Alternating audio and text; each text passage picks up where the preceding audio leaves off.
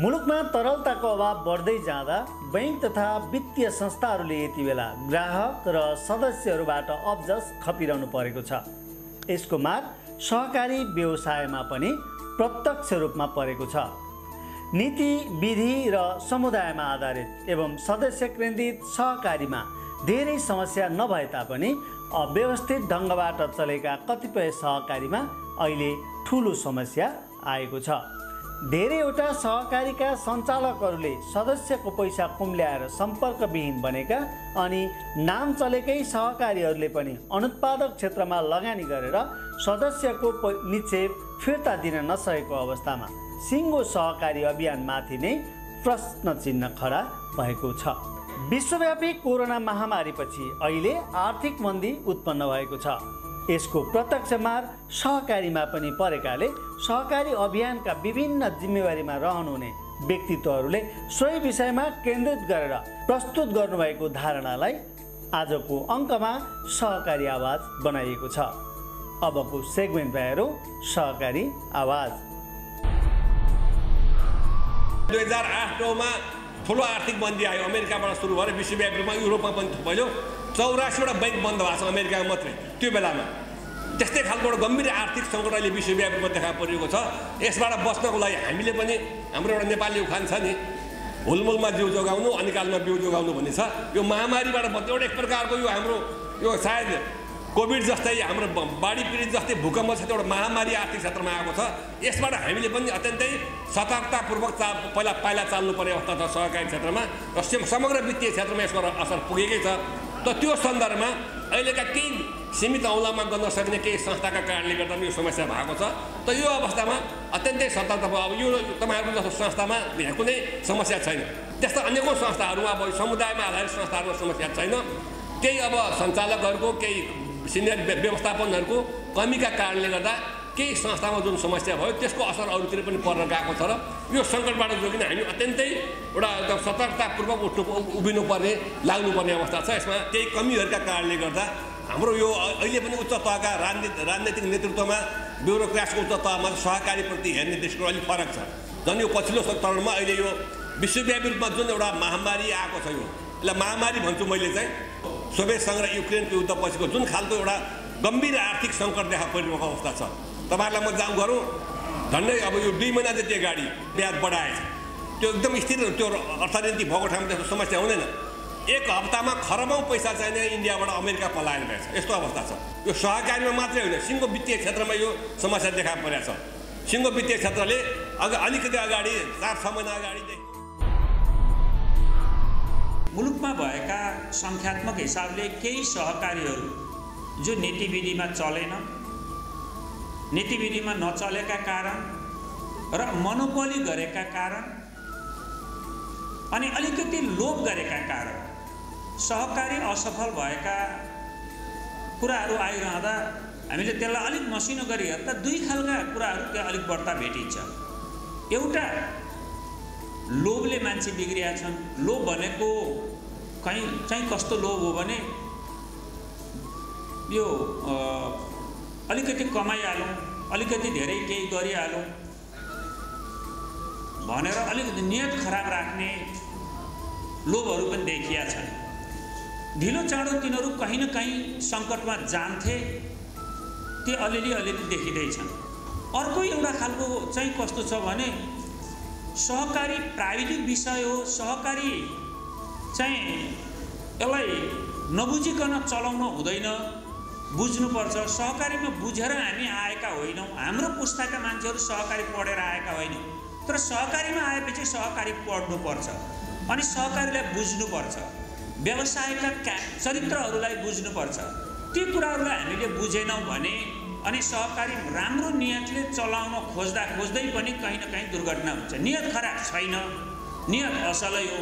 अझ केही सहकारीका साथीहरूसँग त कस्तोसम्म संवाद भएको थियो भने होइन हामीलाई विश्वास गरेर सब मान्छेले पैसा ल्याएर राखे। अरूलाई लगानी गरौँ भने उठ्छ कि उठ्दैन थाहा छैन। डुब्न पनि सक्छ। त्यसकारण हामी नै व्यापार गरौँ भनेर व्यापार गर्न लागेका छौँ भनेर आफ्ना व्यापारमा भटाभट पैसा लगानी गरेका संस्थाहरू सञ्चालकहरूले अलिक बढी व्यापार गर्न खोजेका संस्थाहरूमा अलिक बढ्ता जोखिम देखिएको छ।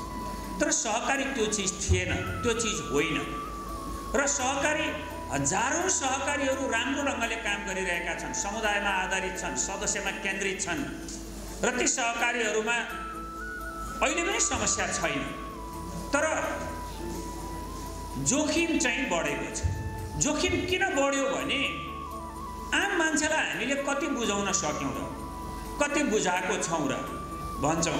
अनि हाम्रा सदस्यहरूलाई पनि हामीले संस्थाको बारेमा कति बुझाउन सक्छौँ कति बुझिदिनुहुन्छ। अनि अर्को कसैले आएर फ्याक्ट होइन सहकारी त सबै सकिएछ नि भनिदियो भने मान्छे डराउन पाउँछ डराउन सक्छ।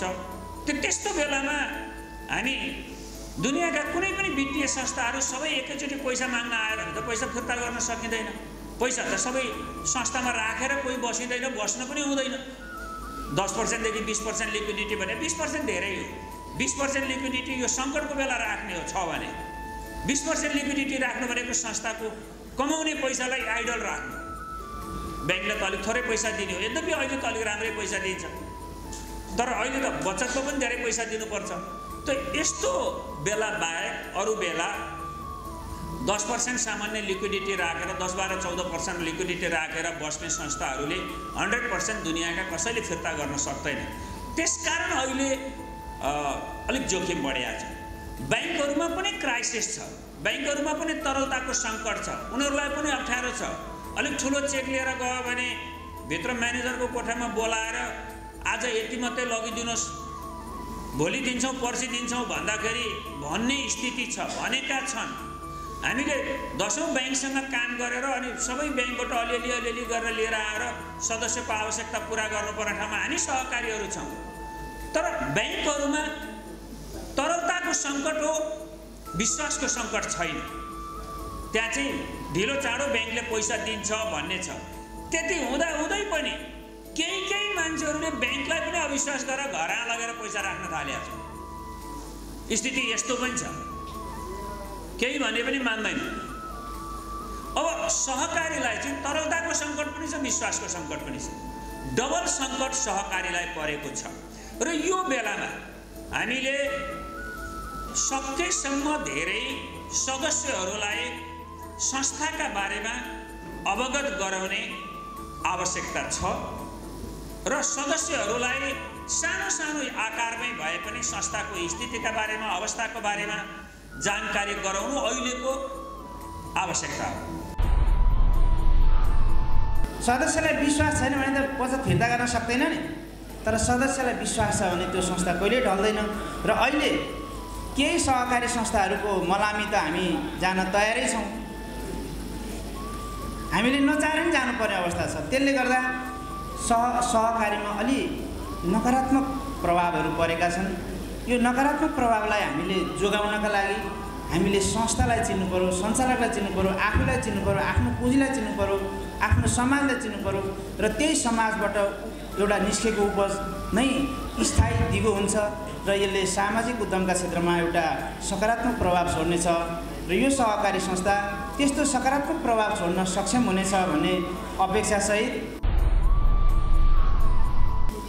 आफ्नो मात्रै व्यवसाय सञ्चालन गर्नका निमित्त स्रोत व्यवस्थापन गर्न खोलिएका सहकारी संस्थाहरूको कारणले अहिले जे समस्या र सहकारीका विषयमा समाचारहरू अगाडि आइरहेका छन् यो कारणले गर्दाखेरि हामी समुदायमा आधारित भएर सदस्यलाई संस्थाको केन्द्रमा राखेर सञ्चालन गर्ने सहकारी संस्थाहरूलाई पनि यही अवस्था घटेर गएन बढेर गयो।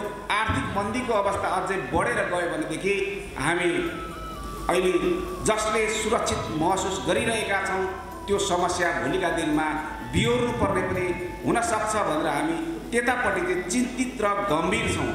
यहाँनिर म के भन्न चाहन्छु भने सहकारी अभियान हामी सदस्यहरू सबैलाई अहिले हामी लिएर अगाडि बढिरहेका छौँ।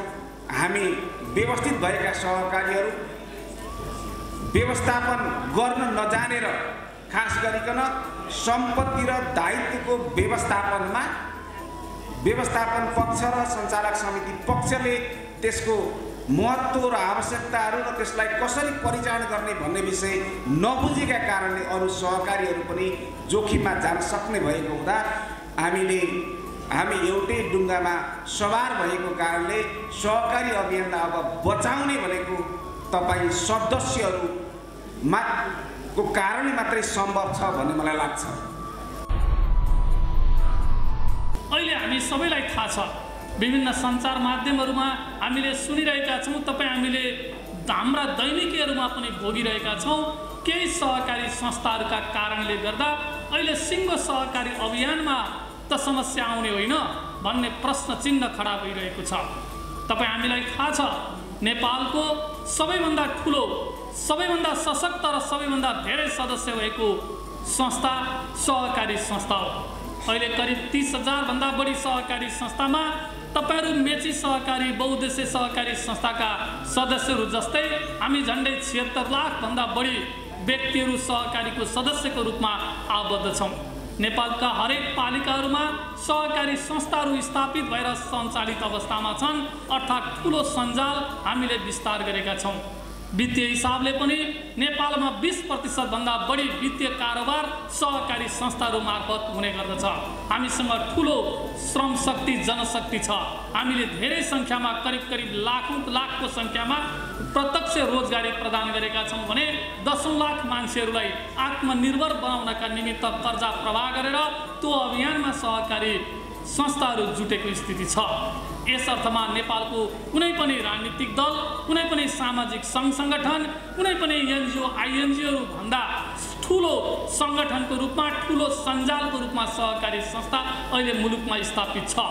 यति हुँदाहुँदै पनि यो केही समय खास गरिकन कोरोना महामारी पछिको यो केही समयमा समयमा सहकारी संस्थाहरू केही सहकारी संस्थाहरूमा देखिएको समस्याका कारणले ठुलो जनमत अहिले सहकारीको विरुद्धमा लाग्ने त होइन। अर्थात् हामीले गरिरहेको सकारात्मक कुराहरू अब नकारात्मकतामा परिणत हुने त होइन भन्ने सन्तास सिङ्गो सहकारी अभियानमा अहिले देखा परिरहेको स्थिति छ। स्वाभाविक रूपले हामी गतिशील समाजमा हुर्किएका मान्छेहरू हामी गतिशील समाजका सदस्यहरू। यो गतिशील समाजमा कहिले उतार चढावहरू हुन्छ यसलाई स्वाभाविक मान्नुपर्छ। तपाईँ हामीलाई थाहा छ हामीले बेला बेलामा समाचारहरू सुन्ने गर्छौँ घटनाहरू प्रत्यक्ष रूपमा देख्ने गर्छौँ। एउटी श्रीमतीले श्रीमानको हत्या गरे। यसको अर्थ सबै श्रीमतीहरू हत्यारा हुन सक्छन् सक्दैनन्। एउटा श्रीमानले श्रीमतीलाई जलाएर मार्यो यसको अर्थ सबै श्रीमानहरू खराब हुन्छन् यस्तो हुन सक्दैन। एउटा बाबुले छोराको हत्या गरेको त्यसै गरी छोराले बाबुको हत्या गरेका घटनाहरू हामीले बेला बेलामा यही समाजमा सुन्ने र भोग्ने गरेका छौँ। यसको अर्थ समाजका यी सबै कुपात्रहरूको कारणले गर्दा सबै सुपात्रहरू दोषी हुन सक्दैनन्। अर्थात् गतिशील समाजमा यस्ता केही विकृत घटनाहरू बेला बेलामा हुने गर्छन्। स्वाभाविक रूपले यस्ता घटनाहरूलाई प्रोत्साहन गर्नु हुँदैन। हामीले यस्ता घटनाहरूलाई निरुत्साहित गर्दै जानुपर्छ न्यूनीकरण गर्दै जानुपर्छ र शून्यमा झार्ने प्रयत्न गर्नुपर्दछ। हो यो सहकारी अभियानभित्र पनि अहिले यस्तै केही विकृत घटनाहरू घटेका छन्। यसको अर्थ केही सङ्ख्याका सहकारी संस्थाहरूले गरेको गलत प्रचार कामका कारणले सिङ्गो सहकारी अभियान गलत हुन सक्दैन। त्यसैले हामीले सिङ्गो सहकारी अभियानप्रति विश्वास आर्जन गर्न सक्नुपर्छ विश्वास दिन सक्नुपर्छ। ती सहकारी संस्थाहरू जो सदस्यसँग केन्द्रित भएर कारोबार गरिरहेका छन् ती सहकारी संस्थाहरू जो समुदायसँग केन्द्रित भएर कारोबारहरू गरिरहेका छन् आफ्ना क्रियाकलापहरू अगाडि बढाइरहेका छन्। ती सहकारी संस्थाहरूले हरू जसले सदस्यहरूलाई मान्दछन् सदस्यहरू सर्वोपरि ठान्दछन् त्यस्ता सहकारी संस्थाहरूमा कहिल्यै पनि यस किसिमको समस्या आउँदैन। यो प्रमाणित भएको छ।